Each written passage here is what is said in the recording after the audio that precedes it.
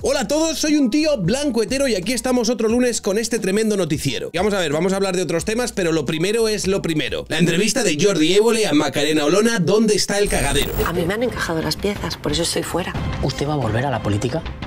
Te voy a decir algo. Te voy a decir algo que no he dicho. Por cierto, antes de ponerme alguna tontería en los comentarios, pensad que esto yo lo estoy grabando un lunes, ¿vale? Pues estamos a 21 de febrero, lo que tú estás diciendo aquí es inexacto. Ok, el caso es que el pasado domingo, día 19 de febrero, tuvo lugar en la sexta en el programa de Lo de Évole una entrevista entre Jordi y Macarena Olona, en la que, aunque no se dijese nada nuevo, había cantidades ingentes de morbo. Y es que Macarena Olona lleva en tremendo afer contra su propio partido desde las elecciones en Andalucía. Te voy a decir algo. Te voy a decir algo que no he dicho.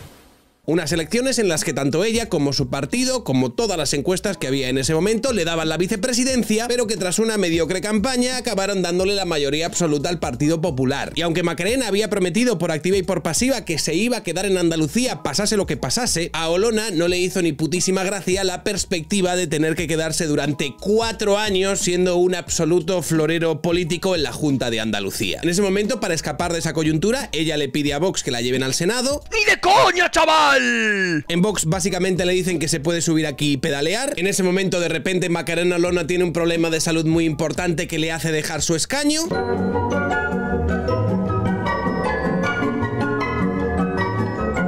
A partir de ahí empieza una fricción con su ex partido que empieza con insinuaciones y pullitas y acaba en tremenda guerra abierta a modo de sesión de Bizarrap. Una guerra abierta que habría catalizado en el suicidio público que se dio ayer en el programa de Jordi Évole. Y digo suicidio porque sinceramente yo no sé qué esperaba la buena de Macarena, que entiendo que en sus últimos meses en su beef con Vox sí que ha estado intentando congraciarse con cierto sector progresista, pero sin darse cuenta de que este es un sector en el que nunca, jamás en la historia va a ser reconocida. Y yo entiendo que durante unos segundos ella saboreó lo que sería formar parte de ese club de los guay, retuiteándose con Jordi Évole y diciéndose canalladas, en la que se retuiteaban y hablaban por Twitter con Jordi Évole diciendo cosas como Esto promete, me encantaría no haber visto la entrevista y fliparlo fuerte esta noche. Macarena Olona, la Shakira de Vox, esta noche lo canta todo, me pido ser bizarrap. Lo que a la otra a lo mejor le dio la impresión de que este personaje iba a ser más o menos justo y benevolente con la edición. Por eso le retuiteaba a Macarena y guau, llevo todo el día recibiendo insultos y me lo he pasado mejor. Cancelamos la entrevista y ponemos una peli American History X. A lo que Jordi Evo le contestaba, vas muy fuerte, Mac Arena.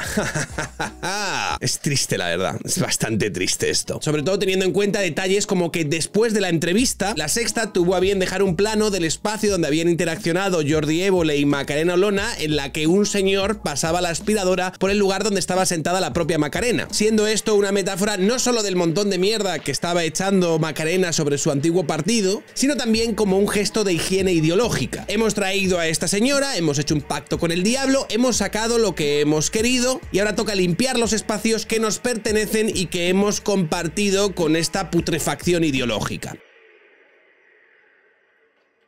El concepto de todo esto yo creo que lo expresaba bien la gigacharo Verónica Fumanal en el siguiente tuit. Un tuit, por cierto, que fue retuiteado por Jordi Évole. Dice Macarena Olona en Tierra de Nadie. Para los de Vox es una traidora que legitima los medios que ella otrora tildada de gestapo. Carita vomitando, para el resto siempre será Xbox y su hemeroteca. Hashtag Glodiolona. Su objetivo todavía un misterio. Y para colmo de todo esto, lo peor es que Macarena Olona no estuvo especialmente brillante. De hecho, abusaba mucho de silencio, se veía impostada, muy poco natural y básicamente como si estuviese intentando interpretar el papel de su vida siendo una actriz más o menos mediocre. Y la conclusión que pudimos sacar ayer viendo el programa creo que lo expresaba perfectamente Cristian Campos con el siguiente tuit. El resumen de lo de Macarena Olona, más allá de las acusaciones sobre la financiación, es que en Vox hay un sector liberal conservador que podría estar pelo arriba, pelo abajo en el Partido Popular y uno ultra fascista y mea pilas que manda más de lo que debería y que vive en el siglo XIX. Y sobre todo que en esta pugna interna Macarena formaba parte del grupo que podría considerarse como liberal conservador y que el sector nacional católico barra falangista sería el que más le estaría atacando a ella y el que más peso estaría consiguiendo dentro de la organización política de Vox. Algo que por otro lado no es nada nuevo más allá del peso que pueda tener dentro del partido. Que hay un sector ultra y refachero dentro de Vox es algo más que evidente. Y que de este sector parten luego ciertos subgrupos que se organizan por Twitter y otras redes sociales a modo de ranitas basadas, que se dedican a blanquear, frivolizar o incluso celebrar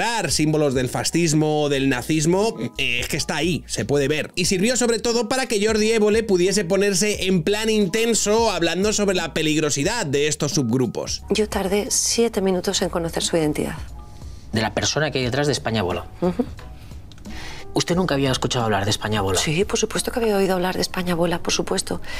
Eh, por supuesto que había oído hablar de él y, y conocía que era la, la cuenta como cabecilla de un grupo de cuentas de usuarios en, en redes sociales que se hacen llamar el Team Facha.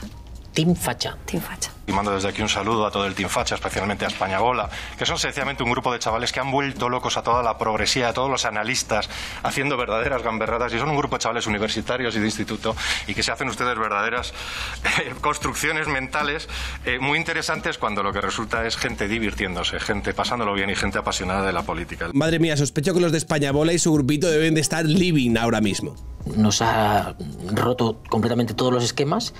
Es que desde el Telegram de esta cuenta de España Bola, que presuntamente puede estar gestionada por un asesor de Vox, hay este vídeo.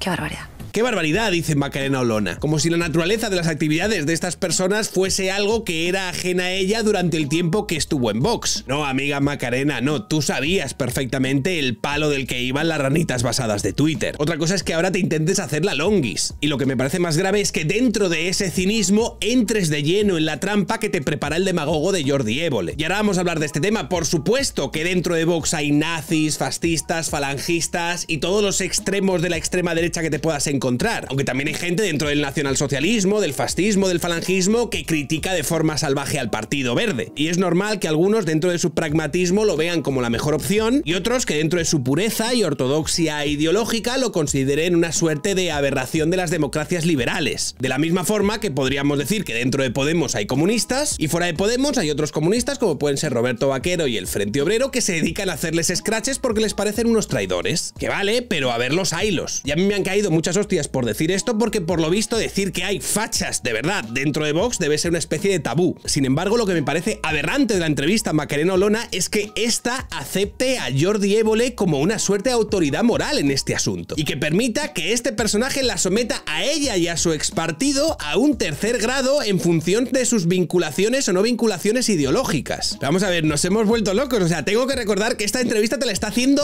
Jordi Évole, el que tiene esta foto con Otegui. O sea, te lo está diciendo un tío que coleguea y simpatiza con un personaje siniestro de la talla de Pablo Iglesias. Un personaje que ha hecho colaboraciones y cameos de este tipo. Te corten el pelo a navaja, que te den aceitito en la barba. Hostia, qué pesado estás, colega.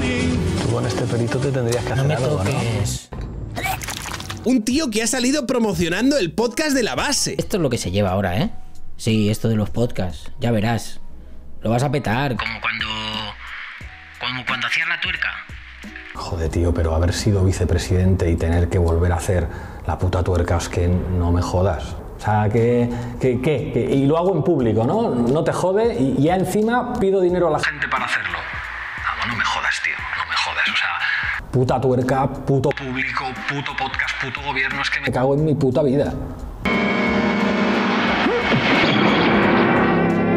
Teniendo en cuenta que Pablo Iglesias es este pavo, teniendo en cuenta que Pablo Iglesias ha participado en homenajes conmemorativos a la revolución bolchevique, teniendo en cuenta que este señor ha salido bailando en fiestas y celebraciones con la bandera roja, con la hoz y el martillo de la Unión de Repúblicas Socialistas Soviéticas. Después de eso tiene los bemoles de hacerse el intensito y juzgar desde no sé qué atalaya moral el hecho de que haya asesores o vínculos de un partido con un señor que luego reproduce memes y gifs nazis, cuando tú luego pasas por alto deliberadamente y colegueas y colaboras con un vicepresidente del gobierno que ha aparecido sin ningún tipo de pudor junto a símbolos que representan el totalitarismo y autoritarismo del siglo XX. Porque uno cuando ve esto lo que se pregunta es cómo demonios Jordi Évole es capaz de fingir de forma tan cínica y exagerada lo mucho que le preocupa que un asesor de Vox, que es además un chaval joven, tenga un grupo de Telegram donde se comparten fotos nazis y cosas así, cuando el mismo tío que va de superadalid de la democracia pasa por alto cosas como, yo que sé, que nuestro actual ministro de Consumo ha posado haciendo una paella con una sudadera de la República Democrática Alemana. O sea, ¿cómo es posible que Jordi Évole, junto con 500 toneladas de dramatismo, sea capaz de hacerse el indignado por las fotos que pone un subnormal en su canal de Telegram, que supuestamente sería un asesor de Vox que ni siquiera está confirmado? Pero sin embargo, tanto él como las mismas coordenadas en las que se mueve pasen por alto de forma sistemática que un ministro de España